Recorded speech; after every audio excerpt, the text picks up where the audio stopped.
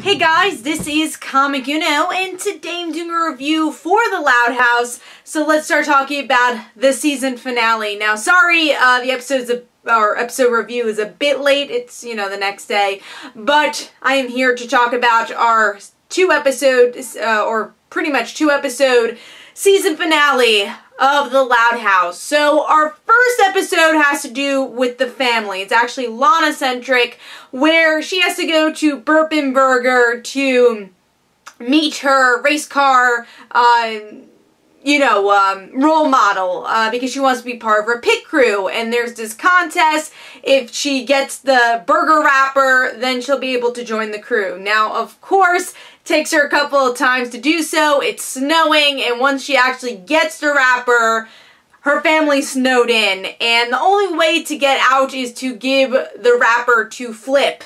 Uh, so she does do the loyal uh, thing for her family, which is give the wrapper away, but she does get to meet her idol and interact with her idol and kind of happily ever after. So I'm going to talk about this episode and then I'll talk about the next, but I enjoyed this one the most. I always enjoy the, the family interactions the most. And this is definitely a bit more character driven compared to the, the second episode, but uh, it was a lot of fun. It was great to see a Lana-centric episode. Uh, we haven't seen a lot of those, at least recently. And I, I love the way the family interacts with each other and, and the hard decision Lana does have to make for her family. Uh, and her family still not yelling at her in any way. It's like, oh, you put us in this situation where I think that could easily be done in a telev television show.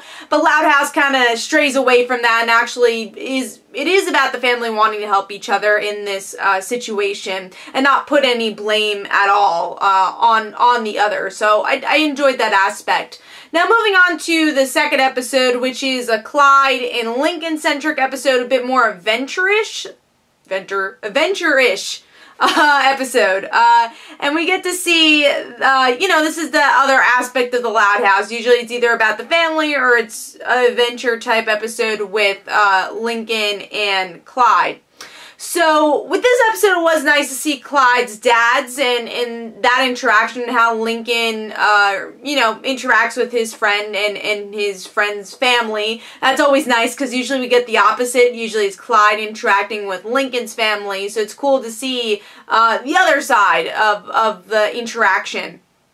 So with this episode, we get to see how Clyde's parents are overprotective, and Clyde kind of rebels a little bit, uh, puts him in a life or death situation, and by the end, they're able to learn, hey, yes, we could be overprotective, but maybe not that overprotective. There is a balance, and we have to trust our child to do the right thing in the scenario, and that we gave the right tools for our son to do the right thing. And I think there's ob obviously a great lesson in this episode, and it's one of the Clyde and Lincoln episodes I like a little bit more than others because again those aren't my favorites compared to the ones about the sisters uh, but like I said I think the, the, the part of the episode I enjoyed the most was seeing the family and seeing the Clyde dynamic with his dads and Lincoln being thrown in the mix was a lot of fun and, and something different and I'm glad we've gotten to see that a little bit more in season two compared to season one and, and hopefully even more in season three. So uh, overall I thought episodes were pretty solid for a finale and looking forward to see what season three will bring us and, and hopefully soon.